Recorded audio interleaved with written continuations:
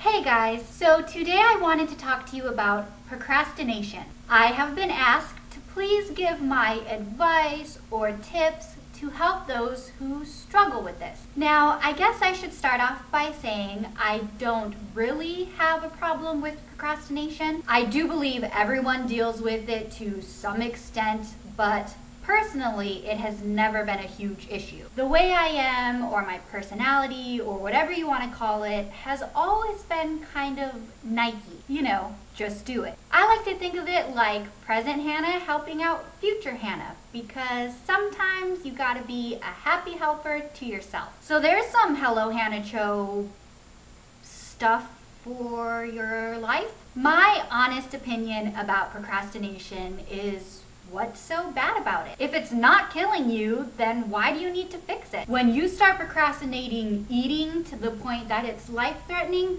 then let me know. Otherwise, what real harm is procrastination causing? And I know some of you are like, whoa, what is she saying? I just think that some things in moderation aren't bad. You procrastinated writing that paper?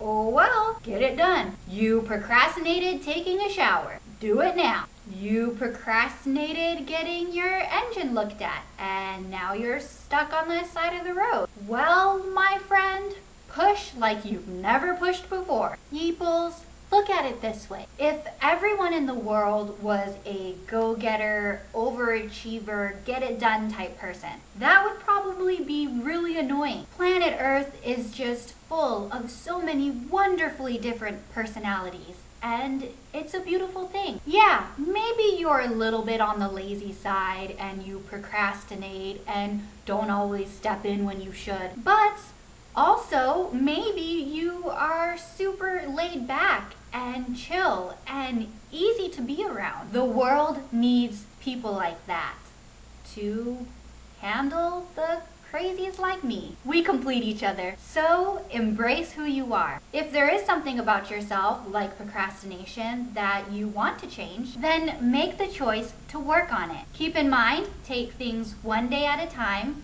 stay encouraged, and don't beat yourself up when you're not completely different overnight or when you mess up. Messing up is what we humans do. Duh. Well, this has been my sharing on procrastination. Thanks for watching. See you later. Bye.